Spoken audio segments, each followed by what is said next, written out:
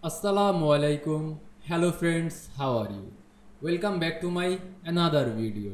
In this video, I am going to show you how to apply texture background in PowerPoint. Let's get started. At first, you have to go view menu. Then click slide master. Then go to your main slide and go insert menu. Now click shapes drop down menu and choose rectangle. Now draw the rectangle of full page. Now go to shape format menu and click shape fill drop down menu and choose and choose texture. Now choose any texture of this. I can choose this one. Now go to your main slide and click close master view.